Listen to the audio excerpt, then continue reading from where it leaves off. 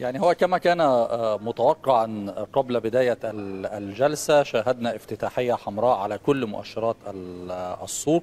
وصلت إلى أكثر من 2% على مؤشر إي جي إكس 30 صحيح أنه أقل من التراجعات التي شهدتها الأسواق الخليجية الأخرى ولكن بالإضافة إلى ذلك السوق بدأت تتماسك نسبيا مع مرور الجلسة حتى أننا الآن على تراجعات تصل إلى حوالي واحد ونصف في المئة لمؤشر السوق الرئيسي إي جي إكس 30 وأيضا لمؤشر الأسهم الصغيرة والمتوسطة إي جي إكس 70 على الرغم من استمرار المخاوف لدى المستثمرين بشأن المتحور الجديد لفيروس كورونا وأيضا التراجعات الحادة التي شهدتها الأسواق العالمية خلال جلسة تداولات الجمعة الماضية. يعني إذا نظرنا إلى الأسهم القيادية تتعرض معظمها لضغوط منذ بداية الجلسة أسهم البنوك بقيادة البنك التجاري الدولي أيضا أسهم القطاع العقاري بقيادة طلعت مصطفى وبالم هيلز كلها على تراجعات متباينة ما بين 3 إلى 5% باستثناء سهم سودك المرتفع الوحيد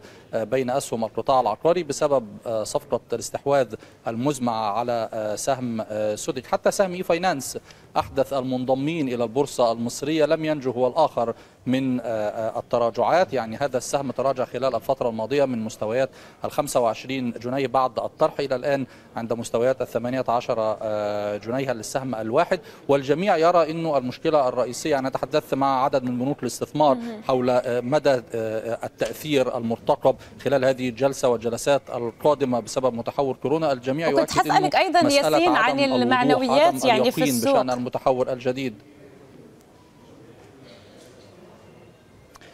يعني البورصة المصرية بالفعل عانت خلال الفترة الماضية من تراجعات حادة لعدة أمور داخلية وبالتالي هي يعني مسألة المتحول الجديد ومخاوف المستثمرين. هي فقط إضافة على كل ما تعنيه البورصة من أسباب وعوامل داخلية أثرت على أدائها خلال الفترة الماضية. ولكن كنت أريد أن أقول أنه بنوك الاستثمار ترى أن المشكلة الأهم الآن هي عدم وضوح الرؤية بشأن المتحول الجديد. هذا هو ما يخيف المستثمرين. هل ربما نجد إغلاقات أخرى للاقتصادات سواء جزئية أو كلية هل سنرى توقف لحركة الإمدادات تأثير مباشر على أداء الاقتصادات كل هذه الأمور يأخذها المستثمر صحيح. في الحسبان إذا كان المستثمرون قد تعرضوا لخسائر قوية نعم. في الجمعة الماضية فربما تكون عمليات البيع التي نشهدها في الأسواق الخليجية والعربية والمصرية هي جزء أو محاولة لتعويض بعض الخسائر التي تكبدوها صحيح. في الأسواق العالمية خلال تداولات الجمعة الماضية ابقى معي ياسين دعنا نأخذ أيضا صورة من الكويت مع الزميل خالد كبي. خالد طبعا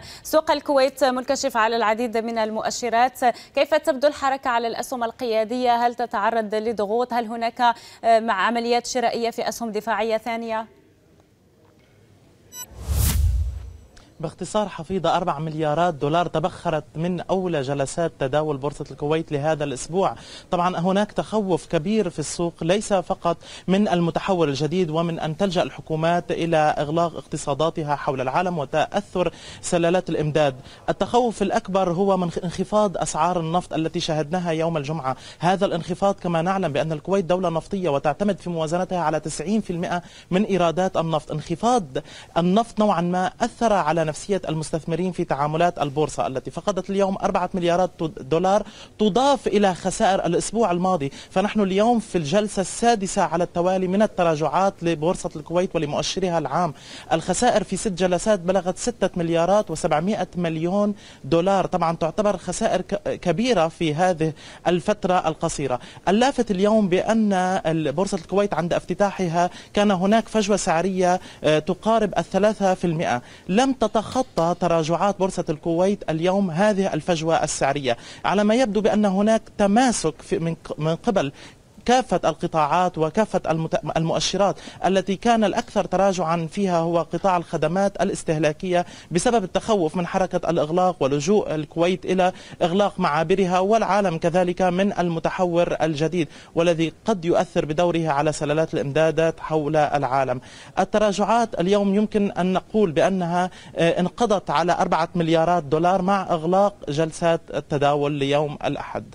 بقى معنا خالد أكيد سنتحول إلى المنامة مع الزميل محمد الباز. محمد كنا تحدثنا أن كان هناك مع بداية الجلسة نوع من الخسائر وكنا ننتظر إلى أن تتضح الصورة. كيف تبدو الأجواء الآن؟ وأيضا ماذا عن الأسهم القيادية؟ الخسائر تعمقت كما كان متوقعا. بدأت الجلسة على تراجعات بأقل قليلا من واحد في المئة في المؤشر وانتهت التداولات في جلسة اليوم عند تراجعات على المؤشر بحوالي 2% التراجع كان ضمن الحدود المنطقية معدلات السيولة أو كمية الأسهم المطروحة للتداول خلال هذا اليوم. كانت أعلى قليلا من المتوسط العام للسيولة أو كميات الأسهم المتداولة خلال الأسبوع جلسات الأسبوع الماضي. لكنها أيضا كانت ضمن الحدود المعتادة خلال منذ بداية الشهر الأخير. الضغوط كانت على الأسهم أسهم القطاع البنكي بالأساس قائمة الرابحين خالية تماما كل الأسهم التي جرى عليها تداول اليوم أغلقت على خسائر. يتصدر الأسهم الخاسرة من القطاع البنكي سهم جي إف إتش بحوالي 5% أيضا الأهلي المتحد بحوالي 5% هو الآخر.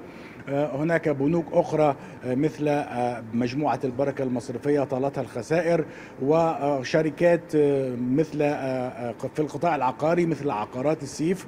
وأيضا هناك قطاع المواد الأساسية بقيادة الومنيوم البحرين ألبا. كان من ضمن الأكثر الشركات التي سجلت أكثر الخسائر بنهاية جلسة اليوم. كان من المتوقع أن يكون جلسة اليوم فيها نوع من الاحتفاء بتعديل التصنيف الائتماني للبحرين الذي جرى مؤخرا من قبل وكالة ستاندرد بورز عندما منحت البحرين تصنيف ائتماني بنظرة مستقبلية مستقرة بعدما كانت سلبية اعتمادا على أنها ستحظى وتحظى دائما بدعم من حلفائها الاستراتيجيين في المنطقة وأيضا بدعم من تحسن الإيرادات الحكومية بداية من العام القادم مع تضاعف قيمة ضريبة القيمة المضافة لتمثل حوالي 3% من الناتج المحلي الإجمالي بعدما كانت الحصيلة الضريبية في حدود 1.7%